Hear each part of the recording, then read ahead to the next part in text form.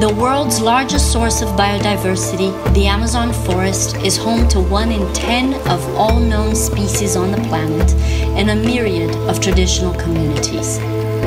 Its capacity to absorb greenhouse gas emissions makes it a fundamental tool in mitigating climate change.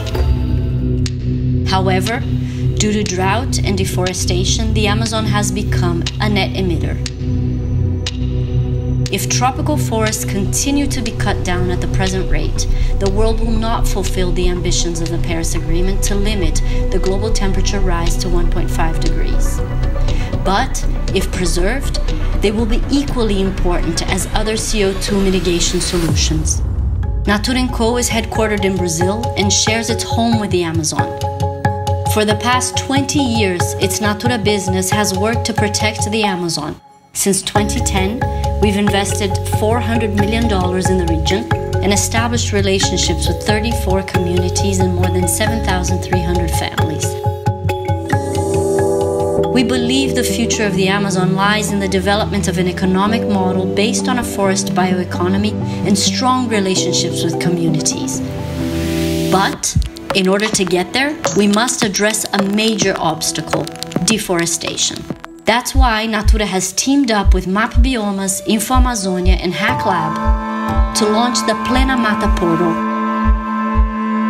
Together, we seek to engage governments, the private sector, civil society, and local organizations to support the fight against deforestation, promote conservation, and support social progress. A forestry monitor consolidates the most up to date information about deforestation. And in the future, also on regeneration.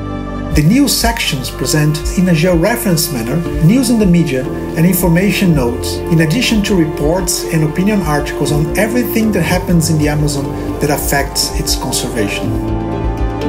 The Good Initiatives section highlights the stories of people, institutions, and projects that work to eliminate deforestation and promote the conservation and regeneration in the Amazon.